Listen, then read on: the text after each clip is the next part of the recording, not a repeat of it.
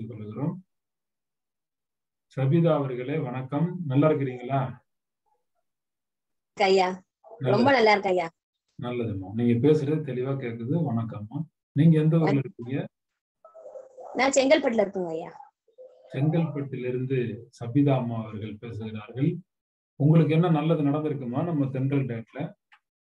நல்லது நிறைய நடந்திருக்குங்க ஐயா இயற்கையில இருந்து என்னோட உடல் எடை குறைஞ்சதுல இருந்து நான் ரொம்ப ஸ்லிம் ஆயிட்டேன் அழகாயிட்டேன் ஷேப் ஆயிட்டேன் சொல்ல போனா ஒரு இல்லாத மாதிரி இன்னொரு இருந்துச்சு இன்னொரு தடவை சொல்லுங்க இன்னொரு தடவை சொல்லுங்க. அழகாயிட்டேன் அப்புறம் என்ன? ஸ்லிம் ஆயிட்டேன்.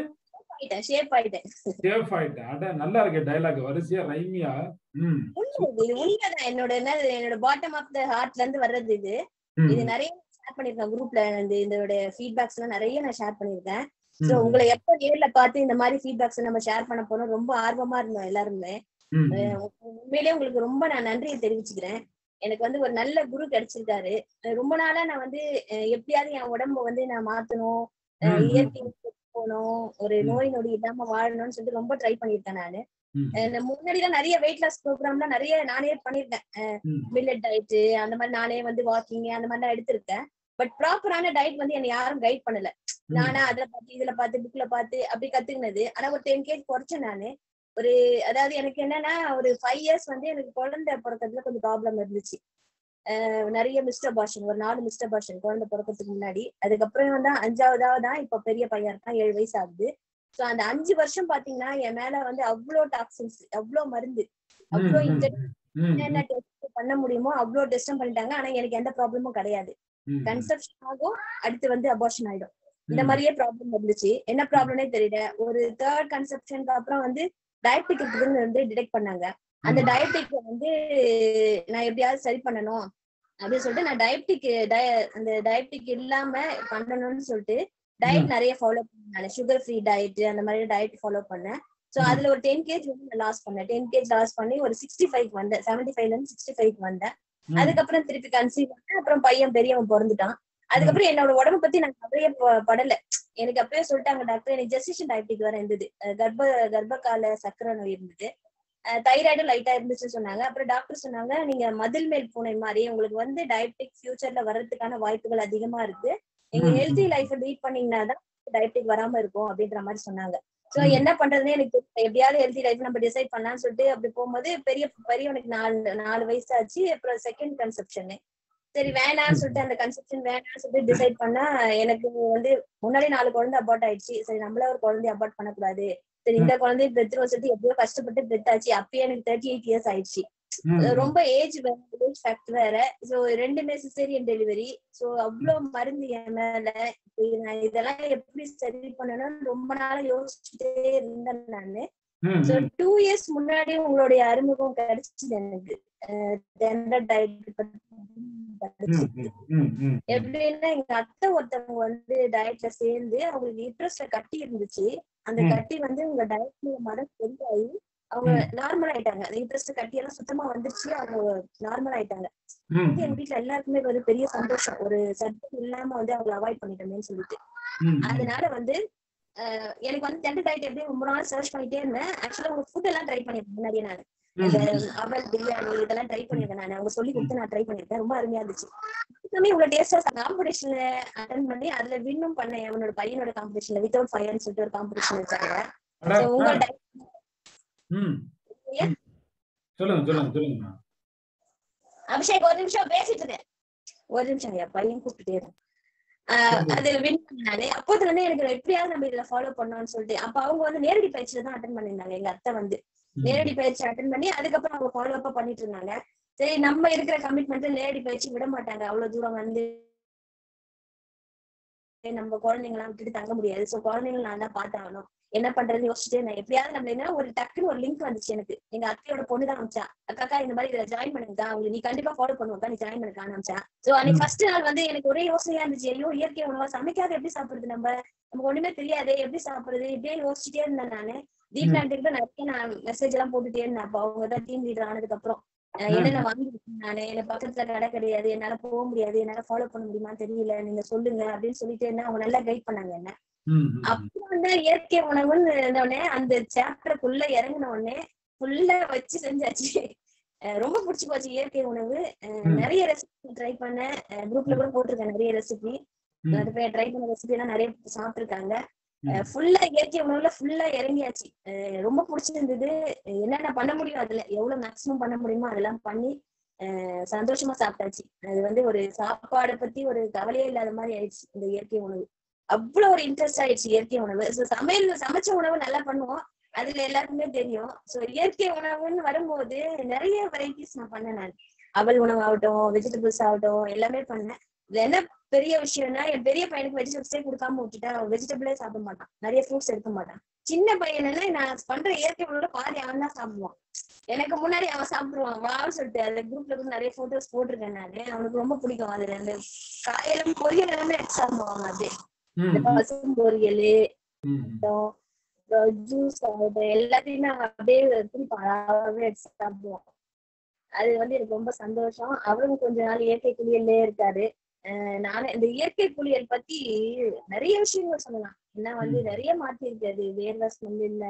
ஸ்கின்னோட டோன் மாத்தி இருக்கு ரொம்ப ஃப்ரெஷ்ஷா ஃபீல் பண்ற மாதிரி இருக்கு. என்ன. சொல்றது? டாப் டு பாட்டம் நம்ம எல்லாமே ஃப்ரெஷ் சாப்பிடுறது ஃப்ரெஷ் குளிக்கிறது ஃப்ரெஷ் இந்த சூரிய யோகம் பண்றது சூரியனை பாக்குறது சூரியனோட வெளிச்சம் நம்ம உடம்புல பட்டு அது உடம்போட கிரகிக்கிறது எல்லாத்தையுமே உணர முடியுது. நிறைய விஷயங்கள் நான் வந்து உணர்ந்து வாழ்ந்துட்டு இருக்கேன்னு சொல்லலாம் என்ன. சொல்றது எனக்கு வந்து ஒரு பெரிய ஒரு பாக்கியமா நினைக்கிறேன் இந்த ஜெண்டர் டைப் கிடைச்சது. லைஃப் லாங் இதை வந்து நான் எப்படியாவது கீப் பண்ணலாம்னு சொல்லிட்டு ரொம்ப பிரியப்படுறேன் ரொம்ப பிடிச்சிருக்கு. எனக்கு இந்த லைஃப் வந்து ரொம்ப பிடிச்சிருக்கு.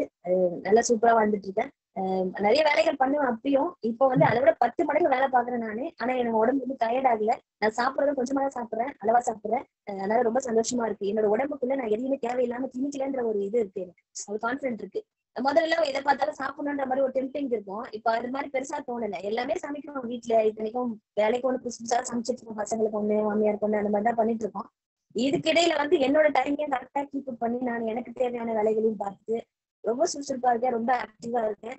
சோ எனக்கு வந்து நான் வந்து ஃபியூச்சர்ல எனக்கு வந்து எந்த எந்த வியாதியும் வராதுன்ற நம்பிக்கை எனக்கு நிறைய இருக்கு. அதோட ஒரு சாட்டிஸ்பாக்சனோட நல்ல லைஃப் லீட் பண்ணிட்டு இருக்கேன். சூப்பரா போயிட்டு இருக்கு சார் நல்லது நல்லது நல்லதுமா. சிறப்பான ஒரு தன்னம்பிக்கை கிடைச்சிருக்கு உங்களுக்கு.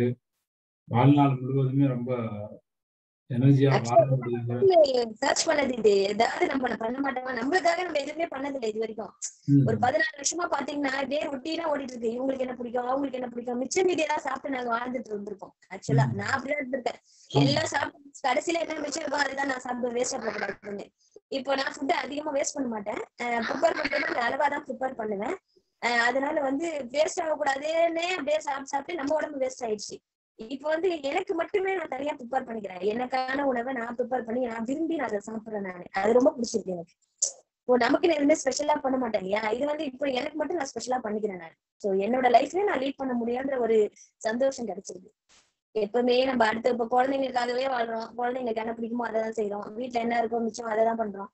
இது வந்து நமக்காக இப்ப பண்ணும்போது ரொம்ப சந்தோஷமா இருக்கு. தேடி தேடி எடுக்கிறோம். ஒரு ஒரு பொருளா குளிக்கிறதுக்காகட்டும் சாப்பிடுறதுக்காகட்டும். ஓ இதை சாப்பிட்டா நல்லா இருக்குமா? அதை பண்ணா நல்லா இருக்குமா? இதுல இந்த வெரைட்டி பண்ணலாமா? இதுல இதை பண்ணலாமா? இதை மிக்ஸ் பண்ணா நல்லா இருக்குமா? அந்த மாதிரி தேடி தேடி ஒரு தேடுதல் கிடைச்சிருக்கு. ரொம்ப நல்லா இருக்கு. இந்த லைஃப் ரொம்ப நல்லா இருக்கு. என்ன சொல்றது? இந்த குரூப் வந்து பெரிய பாண்டிங் எங்களுக்கு. ஒருத்தருக்கு ஒருத்தர் சப்போர்ட் பண்றதுல இருந்து எல்லாமே சூப்பர் இந்த குரூப் கிடைச்சதுக்குமே பெரிய கிஃப்ட் நல்ல லீடர்ஸ் கிடைச்சிட்டாங்க. நல்ல குரு கிடைச்சிட்டீங்க. என்ன சொல்றது இந்த இந்த அஞ்சு மாசம் வாழ்க்கைய வந்து வாழ்க்கையில இது வரைக்கும் ஒரு அனுபவிக்காத ஒரு அனுபவத்தையும் ஒரு சந்தோஷத்தையும் கொடுத்துருக்கு எங்களுக்கு. ரொம்ப அருமையா போகுது. கோ பார்ட்டிசிபென்டா இப்ப எங்க கூட இருக்க குரூப்ல இருக்கவங்க எல்லாம் பாத்தீங்கன்னா ஒருத்தர் டவுன் ஆனா கூட ஒருத்தர் அழகா தூக்கி விடுவாங்க. ஏன் அதை? ஏன் ஸ்கிப் பண்றீங்க? ஏன் உங்களால முடியல? அப்படின்ற மாதிரி பண்ணுவாங்க. ஏன் இதை சாப்பிடல? இப்ப நான் காலையில மார்னிங் ரிப்போர்ட் நான் எடுக்கிறேன்னா இப்ப நான் கேட்டா கூட எல்லாமே கரெக்டா ரெஸ்பான்ஸ் பண்ணுவாங்க. இல்லப்பா இந்த இது பண்ண முடியல. இது பண்ணிக்கிறேன். நான் நாளையில இருந்து ஃபாலோ பண்ணிக்கிறேன்னு சொல்லுவாங்க. சோ யாருமே ஒருத்தர் வந்து ஒருத்தர் தப்பா நினைக்க மாட்டாங்க. அது வந்து ஒரு பெரிய பாண்டிங் எங்களுக்கு கிடைச்சது ஒரு பெரிய கிஃப்டா நினைக்கிறேன் நானு. லீடர் தீப்னா ஆகட்டும் ரொம்ப பொறுமையா சொல்லுவாங்க. ரொம்ப முதல்ல எல்லாம் எங்களை பிசிபி குரூப்ல இருக்கும்போது என்கரேஜ் பண்ணுவாங்க. ரொம்ப சூப்பரா என்கரேஜ் பண்ணுவாங்க. நிறைய ஸ்டிக்கர் மெசேஜ் எல்லாம் போட்டு. அதெல்லாம் ரொம்ப இன்ட்ரெஸ்டிங்கா இருக்கும். இப்ப குரூப்ல கூட நாங்க அழகா நிறைய ஸ்டிக்கர் எல்லாம் போட்டு விளையாடுவோம். ஒருத்தர் ஒருத்தர் கல கிண்டல் பண்ணி அந்த மாதிரி போட்டு விட அது ரொம்ப ஒரு ஒரு மாதிரி ஒரு ஸ்ட்ரெஸ் வந்து எங்களுக்கு அப்படியே பஸ் பண்ற மாதிரி இருக்கும்.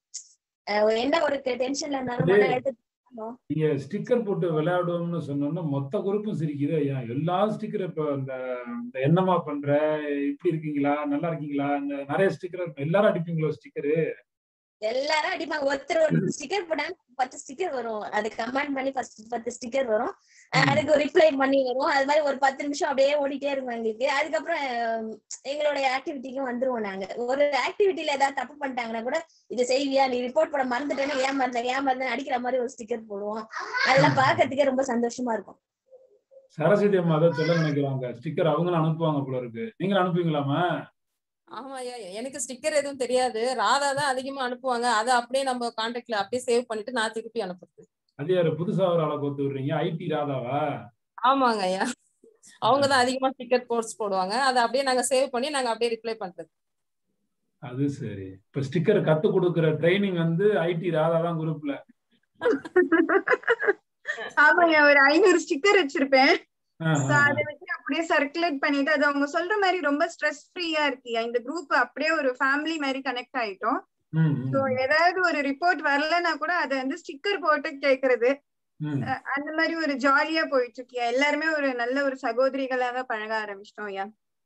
ஒரு புது குடும்பம் கிடைச்சிருக்கு எங்களுக்கு. உங்க லீடர் தீபனா இருக்காங்களே அவங்களே ஸ்டிக்கர் மன்னி. அது ஸ்டிக்கர் மன்ன ஸ்டிக்கருக்கு மன்னர் மாதிரி ஸ்டிக்கர் மன்னின்னு பட்டம் கொடுக்கலாம் தனி பட்டம் கொடுக்கலாம். தனிப்பட்ட கொடுக்கலாம் லீடருக்கு இப்ப அந்த டீமுக்குள்ள இப்ப ராதா வந்து ஸ்டிக்கருக்கு வந்திருக்கீங்க நீங்க. ஐநூறு ஸ்டிக்கர்னா அது எப்படி தனியா இருக்கும்? அப்ளிகேஷன் இருக்கு அதுக்கு? ஆஹ் ஆமாய்யா. தனியா அப்ளிகேஷன் இருக்கியா? தமிழ் ஸ்டிக்கர்ஸ்னு நிறைய நம்ம பிளே ஸ்டோர்ல போயிட்டு டவுன்லோட் பண்ணிருக்கேன். ஃபுல்லா விவேக் தனி கவுண்டமணி தனி செந்தில் தனி வடிவேல் ஸ்டிக்கர் தனி வித் டைலாக்ஸோட வருங்க அந்தந்த சுச்சுவேஷனுக்கு தகுந்த மாதிரி எல்லாத்தையும் போட்டு விட்டுருவோம். என்ன தலைவரை நடத்துனீங்களா? ஸ்டிக்கர் போட்டு நடத்துனீங்களா? என்ன தலைவரை? அது எல்லாமே இருக்கவங்க எல்லாருமே ரொம்ப கரெக்டா ஃபாலோ பண்ணுவாங்க. நம்ம யாரையும் வந்து கொஸ்டின் கேட்கணும்னே இல்ல. அதுலயே இவங்க என்ன பண்ணிக்குவாங்கன்னா யாராவது ஒருத்தர் கொஞ்சம் டைம்க்கு டிலே ஆச்சுன்னா டைரக்டா கேட்காம இந்த ஸ்டிக்கரை போட்டு கேட்டு விட்டா அவங்க மாட்டிப்பாங்கல்ல. அப்படிதான் விளையாண்டுப்பாங்க. ஆனா. எல்லாருமே பர்ஃபெக்டா ஃபாலோ பண்ணுவாங்க. அது அதாவது என்ன எதுக்காக பண்றதை உணர்ந்து பண்றவங்க எல்லாருமே. ஒருத்தர் கூட மிஸ் பண்ண மாட்டாங்க. எல்லாமே சூப்பரா பண்ணுவாங்க. ம். நல்லது நல்லது. ஏதோ சொல்ல வந்தீங்கம்மா சரஸ்வதி அம்மா? அதான் ரொம்ப டல்லா ஏதாவது ஒரு ஏதாவது பொருள் சாப்பிட்டு நம்மளுக்கு அது பிடிக்காம ஒரு மாதிரி முகம் சுழிச்சு ஏதாவது யோசிக்கும் போது இந்த ஸ்டிக்கரை பார்த்தா நம்மள அறியாம சிரிப்பு வந்துரும். நம்மளோட மூளை ஃபுல்லா மாறிடும் அதுக்கப்புறம். அதுக்கப்புறம் சரி அது அந்த சந்தோஷத்துல மறுபடியும் அடுத்த வேலைக்கு நம்ம மூவ் பண்ணி போக ஆரம்பிச்சிருவோம். அந்த மாதிரி தான் இருக்கு. எங்களுக்கு குரூப்ல எல்லாருமே ரொம்ப என்கரேஜிங்கா இருக்காங்க. எது ஒருத்தர் மிஸ் பண்ணா கூட அது உடனே இன்னொருத்தவங்க நம்மளுக்கு ரிமைண்ட் பண்ணி நம்ம அதை பண்ணணும்ன்ற மாதிரி எல்லாரோடயும் சேர்ந்து இன்னும் அதிகமா பண்ணணும்ன்ற மாதிரி நம்மளுக்கு ரொம்ப உத்வேகமா இருக்கு. எல்லாமே மோட்டிவேட்டர்ஸா மாறிடுவாங்க ஐயா. எல்லாருமே மோட்டிவேட் பண்ண ஆரம்பிச்சிட்டாங்க. ஒருத்தங்க டவுன் ஆயிட்டாங்கன்னா போதும். எல்லாமே மோட்டிவேட் பண்ணி அவங்களையும் தூக்கி விட்டுருவாங்க. சூப்பரான நல்லது நல்லது. நல்லதும்மா ரொம்ப சந்தோஷம். எல்லாருமே ரொம்ப ஒற்றுமையா அந்த குரூப்ல செயல்பட்டு இருக்கிறீங்க டீமோட வெற்றிக்கு காரணமும் அது ஒரு காரணமா இருக்கு. இப்போ உடம்பு அப்படிங்கிறது நூறு சதவீதம் நமக்கு குணமாகணும் நம்ம எல்லாருக்குமே ஆசைதான். அந்த ஆசை நிறைவேறும். கொஞ்சம் கொஞ்சமா குணமாகும். இப்ப இந்த அளவுக்கு எல்லாருமே இம்ப்ரூவ்மெண்ட் ஆயிருக்கிறீங்க அப்படிங்கிறது பெரிய ஆச்சரியம். சபிதா அம்மாவை வந்து இப்பதான் நான் பேசுறேன். சபிதா அம்மாவை பேச விட்டு நம்ம பேசவே முடியல. செங்கல்பட்டு சபிதா அவர்களே பேசுறதுக்கு இப்பதான் எனக்கு நேரமே கிடைச்சிருக்கு. இவ்வளவு நேரம் நீங்க பாட்டுக்கு பொறிஞ்சு பட்ட பட்ட பட்ட பட்ட பட்டன்னு பட்டாசு மாதிரி ஆயிரம் வாழா பத்த வச்ச மாதிரி வெடிச்சுக்கிட்டே இருக்கு அடக்கி வெளில வந்துருச்சு அது. அதான் அதான். பேசுவேன் அதிகமா பேசுவேன் இல்லையா என்ன சொல்றது சில டைம் எனக்கே தோணும் நான் நிறைய பேசுறேன்னு. அப்புறம் எல்லாரும் சொல்லுவாங்க நீங்க பேசுங்க நீங்க பேசுனீங்கன்னா எங்களுக்கு ரொம்ப என்கரேஜ்மெண்டா இருக்கு பேசுங்கன்னு சொல்லுவாங்க. சோ எல்லாரையுமே பேச வைப்பேன். அது ரொம்ப பிடிச்சிருக்கு. எனக்கு இந்த குரூப்பே வந்து என்ன சொல்றது ஒரு ஃபேமிலி பாண்டிங் மாதிரி இருக்கு. தீப்னா சொன்ன மாதிரி. ஒரு. புது ஃபேமிலி கிடைச்சிருக்கு ராதா அவங்க சொன்ன மாதிரி. எல்லாரோடையுமே நான் தனிப்பட்ட முறையிலயும் மெசேஜ் அனுப்புவேன். ஒரு ஒரு இதுனா நாங்க எல்லாமே டிஸ்கஸ் பண்ணிக்கிறது. எல்லாமே ரொம்ப சந்தோஷமா இருக்குது. ஆஹ் என்ன சொல்றது குரூப்குள்ள வந்தோம்னா ஆஹ் அந்த என்ன பிரச்சனை தானே எல்லாமே அப்படியே மைண்ட் ஃப்ரீ ஆன மாதிரி ஆயிடும் எங்களுக்கு எல்லாருக்குமே. எல்லாமே ரொம்ப சந்தோஷமா ஃபீல் பண்ணுவோம் குரூப்ல வந்தோம்னா நல்லது நல்லது. நீங்க இப்ப செகண்ட் இன்னிங்ஸ் ஸ்டார்ட் பண்ணிட்டீங்க. பேட்ஸ்மேன் ரெண்டாவது இன்னிங்ஸ் ஆரம்பிக்கிற மாதிரி நீங்க இப்ப ரெண்டாவது இன்னிங்ஸ் ஆரம்பிச்சிட்டீங்க. உலகமே நான் பேசிதான் கேட்கும் நீங்க பேசி இப்ப நாங்க எல்லாரும் உட்காந்து பொறுமையா கேட்டு இருந்தோம். உண்மையிலே நல்லா நல்லா கோர்வையா அழகா எடுத்து பேசுறீங்க. நீங்கெல்லாம் மற்ற குரூப்ல ஃபாலோ பண்றவங்களுக்கு எல்லாம் உங்க அனுபவங்களை நீங்க சொல்லும் பொழுது அவங்களுக்கும் உற்சாகமா இருக்கும். நல்ல ஒரு நல்ல திறன் இருக்கு உங்களுக்கு. ரொம்ப சந்தோஷமா. நிறைய நலம் அடைஞ்சிருக்கிறீங்க. இந்த நலம் வந்து நிரந்தரமா இருக்கட்டும். நிரந்தரமா சென்ட்ரல் டயட் இந்த சிஸ்டம் உள்ள இருங்க நிறைய ஃபாலோ பண்ணுங்க. நல்லது நடக்கும். நல்லதுமா நன்றியை தெரிவிச்சுக்கிறோம். ரொம்ப சிறப்பு.